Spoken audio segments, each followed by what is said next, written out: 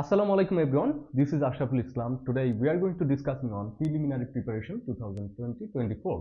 তো এখানে তোমরা দেখতে পাচ্ছ যে আমি দুইটা টপিকের নাম লিখেছি, এটা হচ্ছে যে একটা হচ্ছে ভাইবা আর একটা হচ্ছে স্পোকেন ইংলিশ তো এখানে বিভিন্ন পয়েন্টের মাধ্যমে আমি ট্রাই করব তোমাদের যেন প্রিলিমিনারির যে ভাইবা, এই জিনিসটা তোমরা ট্যাগ করতে পারো খুব সহজে এটা হচ্ছে আর্মি নেভি এবং এয়ারফোর্স তিন বাহিনীর জন্য তোমাকে খুবই হেল্প করবে এই জিনিসগুলা সম্পর্কে তুমি যদি অবগত থাকো, তাহলে তোমাকে তুমি সাজিয়ে গুছিয়ে রিপ্রেজেন্ট করতে পারবে। তো representation of yourself is very crucial at the time of viva.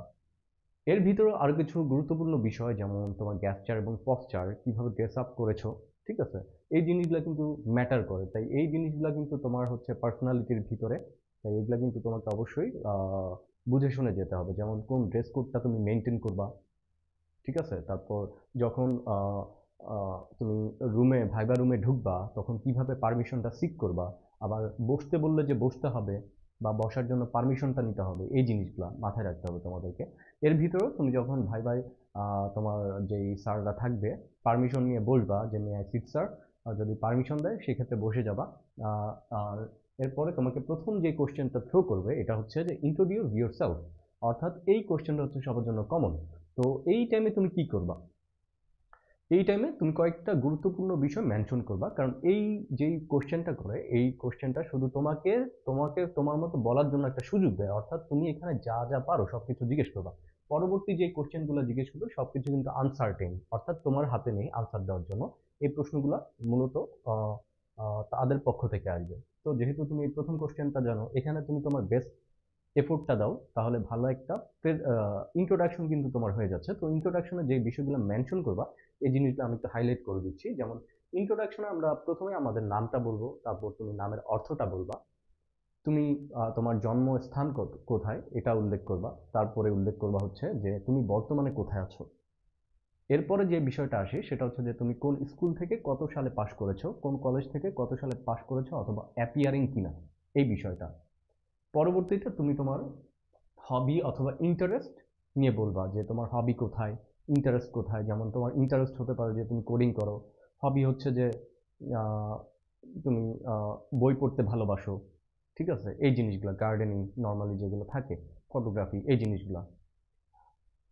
তারপরে এই কয়েকটা বিষয় তুমি যদি মেনশন করো, তাহলে তোমার ইন্ট্রোডাকশন পার্টটা হয়ে যাবে। এরপরে যে পার্টটা আসে, এটা হচ্ছে যে ইন্ট্রোডিউস ইউর ফ্যামিলি এই কোশ্চেনটা অনেকে জিজ্ঞেস করে, আবার অনেকে করে না। তো সেই ক্ষেত্রে তুমি সেফ জোনে থাকার জন্য, যেহেতু তোমাকে একটা কোশ্চেন দেওয়া হয়েছে। যদি তুমি বেশি কিছু আরও অ্যাড করতে পারো তাহলে ইন্ট্রোডিউস ইউর সেলফের ভিতরেই তুমি পরে বলবা যে if I introduce my family we are four members in my family তারপর two brothers two sisters my father working in place my mother is a housewife we are uh, a happy family যাই বলার সব কিছু বলবা হচ্ছে introduce family তো এখন তোমাদেরকে যদি একটা বিষয় আমি স্মরণ করিয়ে দেয় এই জিনিসটা হচ্ছে যে একটা কোশ্চেন রেজ হয় যে ইন্ট্রোডিউস ইউর ফ্যামিলি এবং ইন্ট্রোডিউস ইউর সেলফ তো দুইটা পার্ট কি তুমি আলাদা আলাদা ভাবে- বলবা নাকি একসাথে বলবা? এটার আনসারটা হচ্ছে আলাদা আলাদাভাবে বলা উচিত, কিন্তু তুমি যদি কনফিডেন্ট ফিল না করো অথবা নার্ভাস হয়ে যাও, সেই ক্ষেত্রে তুমি তোমার ব্যাপারে বলার পরেই স্টপ হয়ে যাও।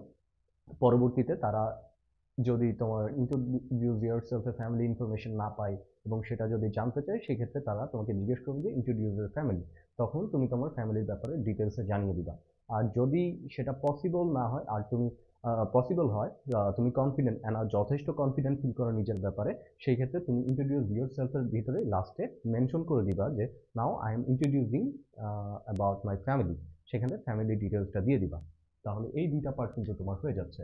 পরবর্তীতে আসি ইন্টারেস্ট এবং হবি তো ভাইবার আরেকটা গুরুত্বপূর্ণ পার্ট হচ্ছে, তুমি চাইলে তুমি যেহেতু তোমার কমিউনিকেশন স্কিলটা এখানে শো করবা, মনে রাখবা যে এই ভাইবাটার মূল উদ্দেশ্য কিন্তু তোমার নলেজ টেস্টিং না। এটা হচ্ছে তোমার কমিউনিকেশন স্কিল কতটা ভালো এইটা। কত, তুমি কি তোমাকে রিপ্রেজেন্ট করতে পারতেছো কিনা, অথবা তোমার কনফিডেন্স কি খুবই ডাউন কিনা, যে তুমি তোমাকে রিপ্রেজেন্ট করতেই পারবে না। কারণ আইএসএসবির যে ফিল্ড ওয়ার্কগুলো আছে এখানে এক্সটেম্পোর স্পিচ গ্রুপ ডিসকাশন আরও অনেকগুলা টাস্ক কিন্তু ইংলিশে কমপ্লিট করা লাগে। সেই জায়গাগুলোতে সার্ভাইভ করতে পারবে কিনা, এর জন্য কিন্তু এই প্রিলিমিনারি যে ভাইবা এগুলো কিন্তু কন্ডাক্ট করা হয়ে থাকে তোমার ব্যাপারে একটা বেসিক আন্ডারস্ট্যান্ডিং এর জন্য। তো ইন্টারেস্ট এবং হবি নিয়ে কিন্তু অনেকে অনেক বেশি কথা বলতে পারে। এটা যেহেতু তোমার নিজের, তো তোমাকে যদি এই বিষয়গুলো সম্পর্কে জিজ্ঞেস করা হয় অথবা তুমি যদি বলা শুরু করো, এই জিনিসটা কিন্তু অনেক টাইম নিবে। অর্থাৎ তুমি অনেক সময় ধরে বলতে পারবা। তো তুমি যদি চাও তোমার ইন্ট্রোডাকশনে তুমি তোমার হবি নিয়ে বলতে পারো যে মাই হবি ইজ টু কি বলে my hobby is to photography তাহলে ফটোগ্রাফি নিয়ে কিছু বলতে পারো যে লেজার টাইমে তুমি ফটোগ্রাফি করো, এই এই জায়গায় ওয়েডিং ফটোগ্রাফি করেছ বা বিভিন্ন প্রোগ্রামে তুমি গিয়েছো, এই জিনিসগুলো তুমি ইন্ট্রোডিউস ইউরসেলফও চাইলে অল্প কিছু শেয়ার করতে পারো, পরবর্তীতে তারা যখন তোমার এই ইন্টারেস্ট এবং হবি নিয়ে ইন্টারেস্টেড হবে, তখন সেই ক্ষেত্রে তোমাকে জিজ্ঞেস করবে যে তুমি কি কি করো কি কি করেছ? প্রিভিয়াসলি কোন কোন জায়গায় কাজ করেছ? অথবা কি কি বই পড়েছো? এই বিষয়গুলো নিয়ে আর কিন্তু ডিটেলসে জিজ্ঞেস করবে। বুঝতে পেরেছ? তো হবি এবং ইন্টারেস্টটা কিন্তু অনেক গুরুত্বপূর্ণ একটা পার্ট তোমাদের লাইফে যা যা আছে, অতীতের যত হিস্ট্রি আছে সব কিছু বের করে নিজের মাইন্ডসেটটা থেকে মনের ভিতর থেকে বের করো যে তোমার হবি আর ইন্টারেস্টটা কোথায়? হবি আর ইন্টারেস্ট কিন্তু দুইটা ডিফারেন্ট জিনিস। ঠিক আছে? এই জিনিসটাও তোমাকে বুঝতে হবে এবং জিনিসটা কিন্তু তোমাকে নোট ডাউন করে রাখতে হবে। এরপরে যে বিষয়টা আসে, এটা হচ্ছে এক্সট্রা কারিকুলার অ্যাক্টিভিটিস তুমি কি কোনো ভলেন্টিয়ারিং অর্গানাইজেশনের সাথে জড়িত কিনা? অথবা অ্যাডিশনালি ভলেন্টিয়ারিং অর্গানাইজেশন বাদেও কোনো অর্গানাইজেশনের সাথে জড়িত আছো কিনা? এই বিষয়গুলো এখানে তুমি শেয়ার করতে পারো। যেমন তুমি কোনো ক্লাবের মেম্বার অথবা কোনো একটা অ্যাসোসিয়েশনে ওয়েলফেয়ার ক্লাবে কাজ করতেছো, এই বিষয়গুলো তুমি এই পার্টটাতে মেনশন করতে পারো। আর ইন্ট্রোডাকশন ইন্ট্রোডিউস ডিওর সেলফের ভিতরেও তুমি কিন্তু তোমার ওই যে ইন্ট্রোডিউস ডিওর সেলফের ভিতরে কিন্তু তোমার ইন্টারেস্ট এবং হবি নিয়ে অল্প করে বলবা। সেখানে কিন্তু তোমার এক্সট্রা কারিকুলার অ্যাক্টিভিটিস নিয়ে অল্প করে কিছু ইনফরমেশন দিয়ে দিবা। কারণ পরবর্তীতে কিন্তু এই জিনিসগুলো নিয়ে কোশ্চেন আসবে তোমার। যদি যারা ভাইবা বোর্ডে আছে তারা কিন্তু জিজ্ঞেস করতেই পারে এই জিনিসগুলো। এরপরে মোস্ট কমন যে পার্ট এটা হচ্ছে সাধারণ জ্ঞান, অর্থাৎ জিকে। জেনারেল নলেজ থেকে কিন্তু কম বেশি অনেকগুলো কোশ্চেনই করে থাকে। রাজধানী, দেশ, মুদ্রা এই টাইপের প্রশ্নগুলোর উত্তর। তারপর র্যাঙ্ক আর্মিতে যদি অ্যাপ্লাই করো, সেক্ষেত্রে আর্মির র্যাঙ্কের সিরিয়ালটা জানবে। এই টাইপের তারপর আরও কিছু সাধারণ জ্ঞান রিলেটেড কোশ্চেন কিন্তু করবে। মানে অনেকগুলো কোশ্চেন থাকবে সাধারণ জ্ঞানের উপর। এরপরে যে বিষয়টা থাকে যে ইংলিশ ট্রান্সলেশন তোমাকে বিভিন্ন ইংলিশ ট্রান্সলেশন দিতে পারে। বলতে পারে যে ঝিরি ঝিরি বৃষ্টি পড়ছে, এটা তুমি ট্রান্সলেট করে বলো। দ্য রেন ইজ ড্রিজলিং তোমাকে এটা বলতে হবে। তো এই টাইপের জিনিসগুলো জিজ্ঞেস করতেই পারে। এখন কথা হচ্ছে যে তুমি যদি এই জিনিসগুলোর আনসার না পারো স্ট্রেট ফরওয়ার্ড তুমি না বলে দিবা যে, স্যার, আমি জিনিসটা আনসারটা জানি আর যদি পার্শিয়ালি জানো তাহলে তুমি জানাইতে বলবে, sir the answer may be this ঠিক আছে? বাট যদি কিছুই না জানো মানে কিছু ইনফরমেশন শেয়ার করতে না পারো, সেই ক্ষেত্রে সরি স্যার, বলে দিবা স্ট্রেট ফরওয়ার্ড তারপর ম্যাথমেটিক্যাল বা সাবজেক্টিভ কিছু কোশ্চেন হয়তো জিজ্ঞেস করবে, অথবা ম্যাথমেটিক্যাল কিছু কোশ্চেন দিতে পারে যে একশো এর তিন ভাগের চার ভাগ কত? ঠিক আছে? পঁচাত্তর বা পঁচিশ, এই টাইপের কোশ্চেনগুলো আসবে। তারপর একটা ডিভিশনের ম্যাথ হয়তো দিতে পারে। ডিভাইড করে বলা লাগবে, অথবা শর্ট একটা অঙ্ক দিবে। ঠিক আছে? এই টাইপের বেসিক কিছু জিনিস দিতে পারে। তোমার যদি ইন্টারেস্ট থাকে জিওগ্রাফিতে জিওগ্রাফি নিয়ে কিন্তু অনেকগুলো কোশ্চেনই করতে পারে। কারণ ভাইবা বোর্ডে যারা থাকবে, তাদের বয়স কিন্তু আমাদের থেকে অনেক বেশি আর তারা অনেক এক্সপিরিয়েন্স তো তুমি যেই ফিল্ডেরই হও, তোমার ইন্টারেস্ট অনুযায়ী কিন্তু তাদের কাছে কোনো না কোনো একটা প্রশ্ন রেডি থাকবেই। ঠিক আছে? তারপর এখানে যে বিষয়টা, এটা হচ্ছে যে তুমি যদি গানে ভালো হও অথবা কোরআন তিলাওয়াতে ভালো হও অথবা পয়েম রিসাইটেশনে ভালো হও, সেই ক্ষেত্রে হয়তো এইগুলো থেকে তোমাকে কোশ্চেন জিজ্ঞেস করতে পারে। তারপর কোশ্চেন বলতে প্র্যাকটিক্যালি করতে বলতে পারে যে একটা গান শোনাও অথবা এই সুরাটা ফিল আউট করে জানাও। তারপর স্পিচ দিতে বলতে পারে যে বঙ্গবন্ধু সাতই মার্চের ভাষণটা একটু রিপ্রেজেন্ট করো মানে প্রেজেন্ট করো তাদেরকে। এই বেসিক জিনিসগুলো কিন্তু আসবে। তারপর একটা কোশ্চেন আসবে যে why do you want to join army why not others তুমি কেন আর্মিকেই প্রায়োরিটি দিচ্ছ, অন্য ফোর্সগুলোকে দিচ্ছ না? তো এইটার আনসার জেনুইনলি তুমি প্রিপেয়ার করবা জেনুইন কারণগুলোই বলবা। এই কারণগুলোতে এটা বলার দরকার নাই যে দেশটাকে অনেক বেশি ভালোবাসি। রিয়েলিস্টিক যে আনসারটা আসে যে তোমার একটা ফোর্সে জয়েন করা লাগবে, তোমার দিক থেকে যেটা আসে, ঠিক আছে? ওইটাই বলবা যে ক্যারিয়ারটা এখানে অল্প সময়ে হচ্ছে প্লাস তুমি সুযোগ পাচ্ছ, এই কারণে আর্মিটাকে চয়েস করছ। আর আর্মিটাকে চয়েস করার কয়েকটা কারণ উল্লেখ করবা যে স্থায়ী যেহেতু এইটা হচ্ছে স্থলভাগে ম্যাক্সিমাম কাজ করে। তো এই জায়গাগুলো তোমার ডেভেলপমেন্টের অনেক বেশি ইচ্ছা বা এখানে কন্ট্রিবিউট করার অনেক ইচ্ছা বা ছোটবেলা থেকে এই যে জিনিসগুলো দেখে বড় হচ্ছ, এর জন্য এটা তোমাকে টানছে। অথবা তোমার বাবা আর্মিতে ছিলেন, এই কারণে তুমি আর্মিতে অ্যাপ্লাই করতেছো অথবা নেভিতে অথবা এয়ারফোর্সে এই কারণগুলোতে করনি। এই জিনিসটা তুমি লজিক্যালি এক্সপ্লেন করে দিবা। তারপরে আসে যে কমন সেন্সের কিছু বিষয়, যে কমন সেন্স রিলেটেড কিছু কোয়েশ্চেনও করতে পারে। যেমন, যে রুমটা আছে, এই রুমটা কত স্কোয়ার ফিট এটা জিজ্ঞেস করতে পারে। অথবা বলতে পারে, তোমার বাসা কোথায়? তো তোমার বাসা থেকে এই জায়গার ডিস্টেন্সটা কত? এটা কত কিলোমিটার ছিল? এই টাইপের কোশ্চেনগুলো কিন্তু ভাইবাতে জিজ্ঞেস করবে। এখন তোমাদেরকে আরেকটা গুরুত্বপূর্ণ ইনফরমেশন দিচ্ছি যে এই জিনিসটা কিন্তু টোটালি একটা কমিউনিকেশনের পার্ট ছিল। অর্থাৎ এখানে তুমি অনেক কিছু পারবা, অনেক কিছু পারবা না। তো না পারলেও মন খারাপের কোনো কিছু নাই। তোমার সিলেকশনের উপর না পারাটা কোনো ইম্প্যাক্ট ফেলবে না, কারণ এটা কোনো নলেজ টেস্ট না। তারপরেও তোমার ন্যূনতম কিছু সাধারণ জ্ঞানের আনসার তো অবশ্যই করা লাগবে বা এই জিনিসগুলো তো জানা লাগবে। যদিও সাধারণ জ্ঞানের যেই টেস্টটা হবে, এটা রিটেন টেস্টের জন্য আছে। রিটেন টেস্ট যখন হবে তখন তো তোমার নলেজটা টেস্ট করবে, তাও তোমার কিছু সাধারণ জ্ঞানের বেসিক প্রিপারেশন নিয়ে যেতে হবে। আর এই যেই পুরো ভাইবা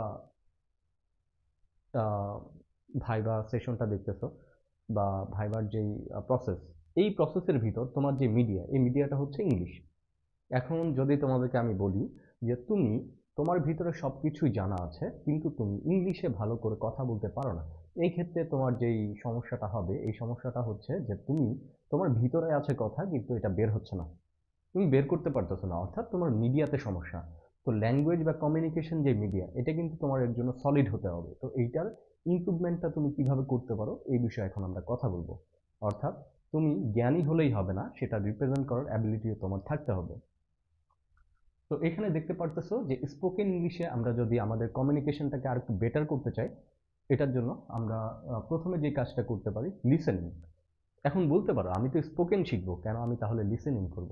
দেখো, তোমার মাইন্ডে তুমি যদি ইনপুট না নাও, অর্থাৎ একটা ফিল্ড সম্পর্কে না জানো, বা জিনিসগুলো তোমার মাথায় যদি ইনপুট না হয়, তুমি কীভাবে আউটপুট দিবা?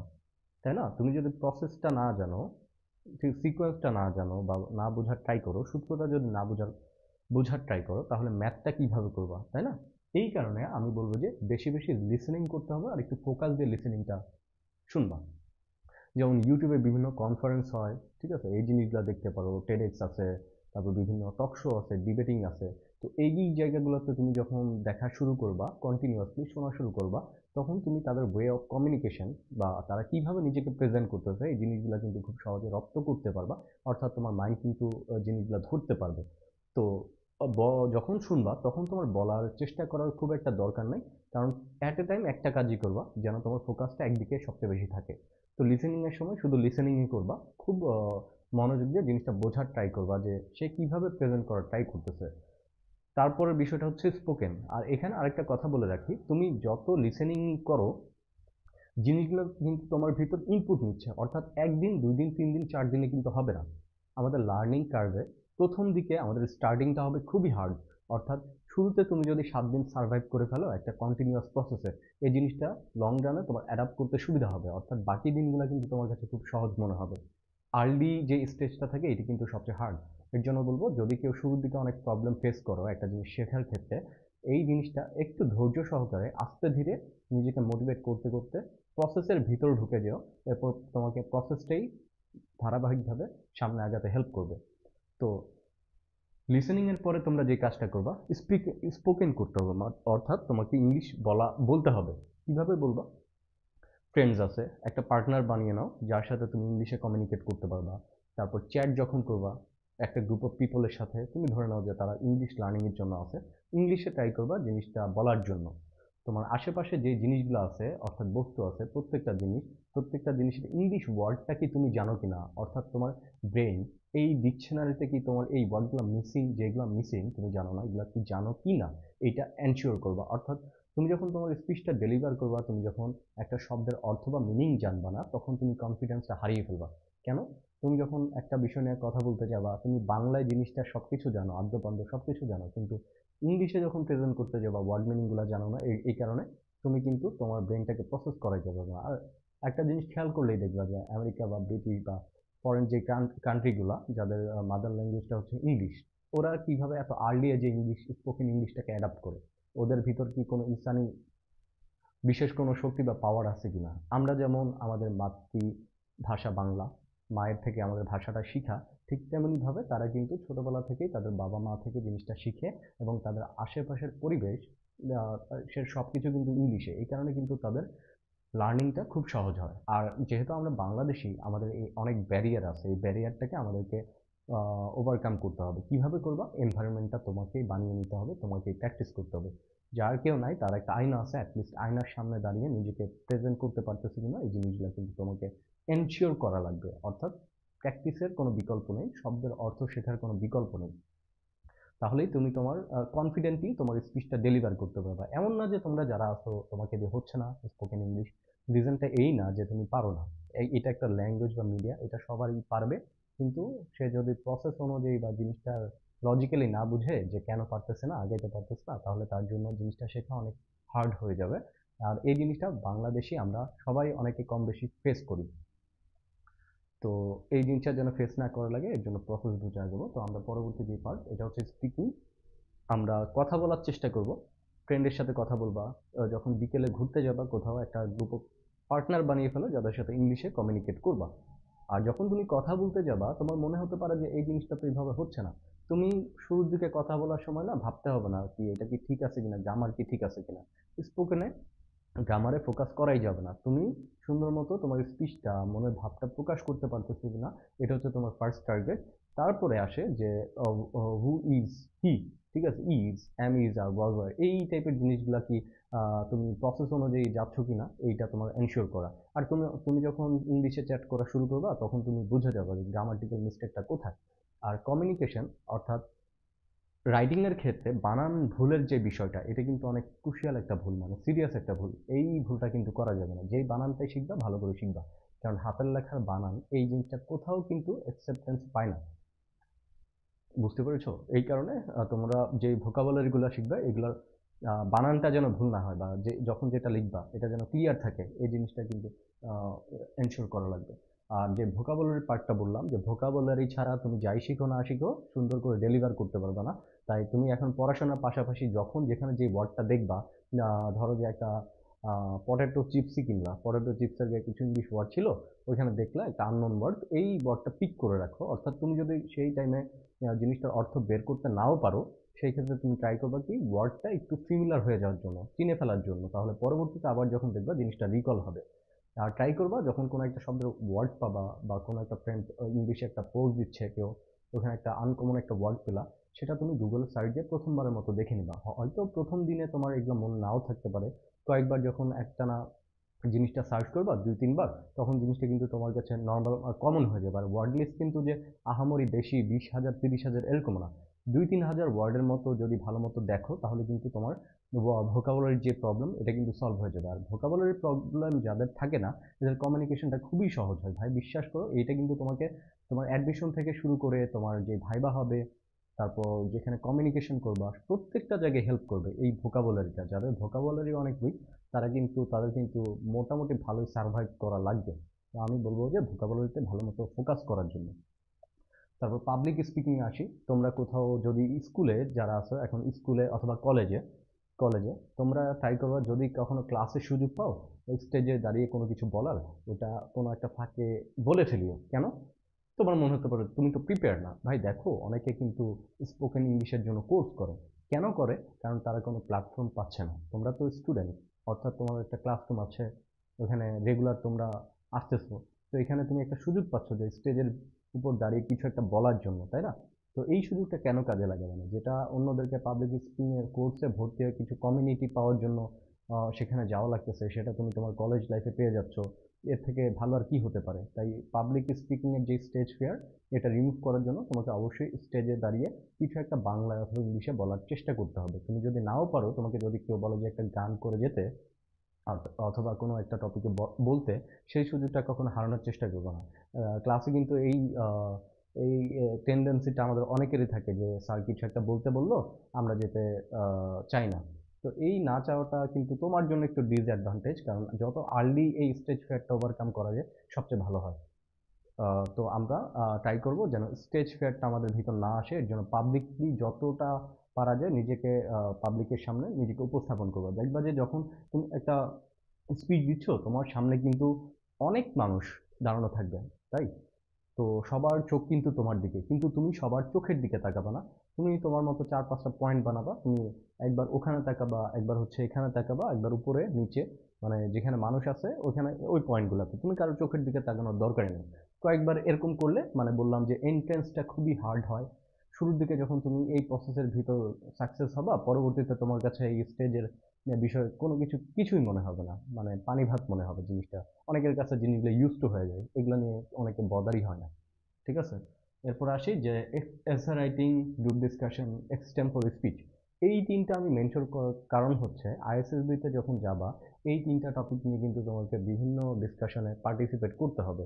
এক্সটেম্পোর স্পিচে একটা সাডেন টপিক দিবে আনসার্টেন একটা টপিক দিবে। ওই টপিকের উপর তোমাকে দুই তিন মিনিট বলা লাগবে। গ্রুপ ডিসকাশনে সবার সাথে তোমাকে পার্টিসিপেট করা লাগবে একটা ডিসকাশনে তো এখানে বিভিন্ন ধরনের টপিক আছে। তুমি যদি এই স্পিকিং পার্টটা বা পাবলিক স্পিকিংগুলো এই টপিকগুলোর উপরে করো, তাহলে তোমার একটা বিশেষ সুবিধা হচ্ছে। তুমি ইংলিশ শেখার পাশাপাশি তোমার যেই এক্সটেম্পল স্পিচের যে সামাজিক সমস্যা অথবা যে সমস্যাগুলো ফেস করি আমরা, এর উপর যে একটা ডিসকাশন করতে বলে, প্রত্যেকটা সম্পর্কে কিন্তু তোমার প্র্যাকটিক্যাল একটা এক্সপিরিয়েন্স হয়ে যাচ্ছে, পরবর্তীতে আইএসএসবিতে যখন তুমি পারফরমেন্স বা পারফর্ম করতে যাবা, এই জিনিসগুলো কিন্তু তোমার ওই যে প্রিভিয়াস এক্সপিরিয়েন্স ডিসকাশনে সব কিছুতে অনেক হেল্প করবে। আর কীভাবে এই জিনিসগুলা কমপ্লিট করবা? একটা নিয়ম আছে যে একটা টপিক যখন পাবো, ওটার ইন্ট্রোডাকশন দিবা। ইন্ট্রোডাকশনের পরে টপিকটাকে একটু ব্রেকডাউন করব প্রবলেম স্টেটমেন্ট কী ছিল এটা আইডেন্টিফাই করবা। এটার সলিউশনটা কী হতে পারে? সলিউশনের পরে এটার ইম্প্যাক্টটা কী ছিল? তারপর তোমার একটা অপিনিয়ন বা ভার্ডিক দিবা যে মতামত এইটা, যে সলিউশনের পরে কী কী হলো এইভাবে ধারাবাহিকভাবে যখন তুমি একটা টপিক নিয়ে বলা শিখে যাবা, তখন দেখবা যে তুমি একটা মানে কি বেস্ট একটা পাবলিক স্পিকার হয়ে গেছে। এই ছিল আমাদের ওভারঅল স্পোকেন ইংলিশ এবং ভাইবা নিয়ে কথা। এর ভিতরে আরও কিছু এক্সপিরিয়েন্স শেয়ার করি। ভাইবা নিয়ে কেউ কখনো ভয় পাবে না। প্র্যাকটিসের মাধ্যমে কিন্তু জিনিসটা ওভারকাম করে ফেলতে পারবা। তারপর যে বিষয়টা, এটা হচ্ছে যে এইচএসসি টোয়েন্টি ফোর যারা আছো, তারা সবসময় এই প্রিলিমিনারি প্রিপারেশনটা নিলে হবে না। একাডেমিকের দিকে ফোকাস থেকে একটা নির্দিষ্ট সময় এই প্রিপারেশনের জন্য বরাদ্দ রাখবা। আর স্পোকেন ইংলিশটা তুমি যে কোনো টাইমে করতে পারো। কারণ তোমার বইয়ে যেই টপিকগুলো আছে ইংলিশের এই ইংলিশের সেকেন্ড পেপার থেকে অথবা ফার্স্ট পেপার থেকে যে প্যারাগ্রাফগুলো আছে কম্পোজিশনগুলো আছে, এই জিনিসগুলো একটু বেশি করে প্র্যাকটিস করলে জিনিসটা কিন্তু তুমি রিডিং করবা ভালো মতো তাও লাউডলি রিডিং করবা তাহলে কিন্তু প্র্যাকটিক্যালি তোমার এই জিনিসগুলোতে যে টাইমটা ইনভেস্ট করবা, এটা কিন্তু কাজে দিবে। তো এটাই আমাদের ফোকাস যে আমাদের টাইমটা যেন প্রপারলি আমরা ইউটিলাইজ করতে পারি। কোনো টাইম যেন আমরা ওলট পালটভাবে ইনভেস্ট না করি। কেন? কেন বলতেছি? কারণ তোমার এনার্জি যেটা, এটা তুমি যদি একটা রং জায়গায় ইনভেস্ট করো সেক্ষেত্রে আউটপুটটা কিন্তু আগে যেটা পাতা, পেতা, ওইটা থেকে খুবই কম পাবা। তো time management is very crucial সময়ের সেন্সটা তোমার থাকতে হবে যে এখন তোমার ফ্রি টাইম তুমি এই টাইমটা কীভাবে স্পেন্ড করবা, কীভাবে তুমি শিখবা। আগে প্ল্যানিং করবা, এরপর এক্সিকিউশনে যাবা। ইনশাল্লাহ ভালো একটা রেজাল্ট পাবা। ইনশাল্লাহ পরবর্তীতে তোমাদের সাথে আবার কথা হবে যে রিটার্ন প্রিপারেশনটা তোমরা কীভাবে নিতে পারো। এই বিষয় নিয়ে বিস্তারিত আরেকটা চেষ্টা করব যে ভিডিও পাবলিশ করার জন্য। ধন্যবাদ সবাইকে। আসসালামু আলাইকুম।